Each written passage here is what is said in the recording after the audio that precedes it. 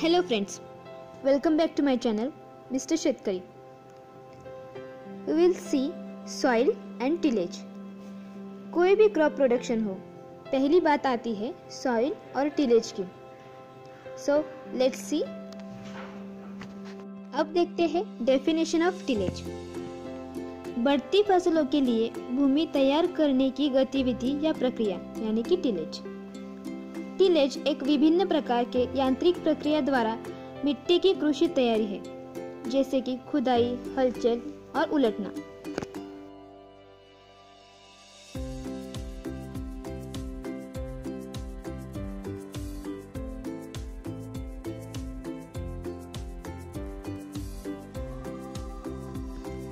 अब हम one by one सारे टाइप्स देखते हैं। फ़र्स्ट प्राइमरी टिलेज इसमें डीप टिलेज आता है। डीप टिलेज गहरी खेती के बड़े आकार के क्लॉट्स बाहर निकालता है। गर्मियों में भी ज़मीन गर्म होने पर क्लॉट्स आसानी से निकलते हैं, इसलिए ज़मीन गर्म की जाती है और कभी कभी ग्रीष्मकालीन वर्षा के कारण, वैकल्पिक हीटिंग और शीतलन के कारण यह क्लॉट्स टूट जाती है। क्लॉट्स के क्रमिक विघटन की यह प्रक्रिया मिट्टी की संरचना में सुधार करती है। मेज यानी कि मकई। इसके लिए 15 से 20 सेंटीमीटर मध्यम गहरी खेती की आवश्यकता होती है और गहरी जड़ वाले फ़सल के लिए 25 से 30 सेंटीमीटर गहराई की गहरी खेती आवश्यक होती है। इसके लिए डीप टिलेज उपयोगी होता है।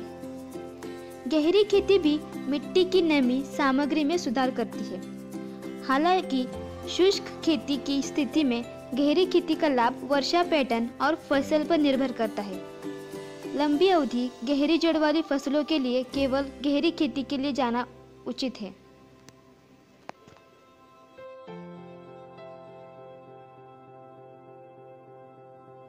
सेकेंड सेकेंडरी टिलेज यानी कि माध्यमिक टिलेज इस टिलेज में प्राइमरी टिलेज के बाद मिट्टी पर हल्का या बेहतर संचलन किया जाता है।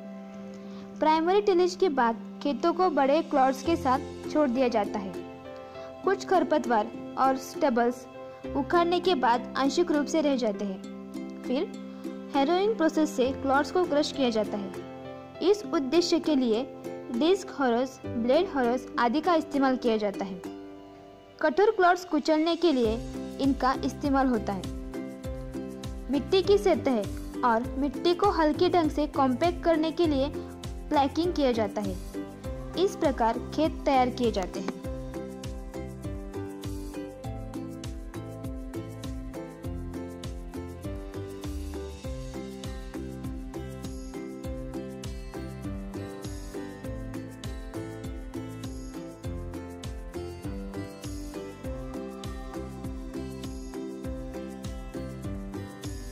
मिट्टी को कॉम्पैक्ट करने के बाद बीज भेड़ और बुवाई का लेआउट तैयार किया जाता है। खेत सिंचाई और बुवाई या रोपण के लिए ठीक से रखा जाता है। गेहूँ, सोयाबीन, बाजरा, मूंगफली जैसे फ़सलों के लिए यह बहुत ही आवश्यक होता है।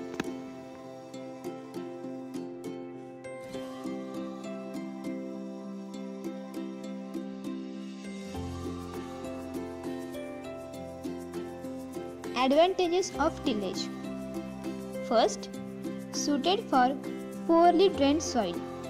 Second, excellent incorporation. Third, well tilled seed bed. Fourth, less winter vine erosion from rough surface. Fifth, well adapted to poorly drained soil. Sixth, good incorporation.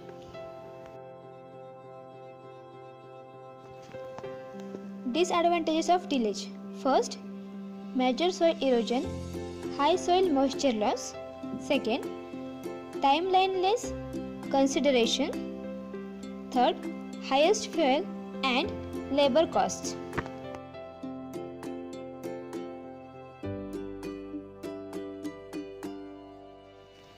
Why tillage is important मतलब टिलेज क्यों ज़रूरी होता है? मिट्टी के गहरे ढीलेपन द्वारा बनाए गए वायु चेप हवा की सुविधा प्रदान करते हैं। और पौधों के उपयोग के लिए पानी के प्रवेश, वायु प्रवेश भी महत्वपूर्ण है। मिट्टी में सूक्ष्म जीव सभी प्रकार के प्रदर्शन करते हैं। पौधों के लिए पोषक तत्व बनाने का महत्वपूर्ण कार्यों में टिलेज काम करता है। इस प्रकार टिलेज यह टॉपिक कंप्लीट होता है।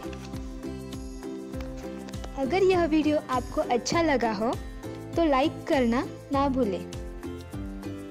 और ऐसे और वीडियो देखने के लिए हमारा चैनल सब्सक्राइब करें। लेटेस्ट वीडियो देखने के लिए बेल आइकन क्लिक करना ना भूलें।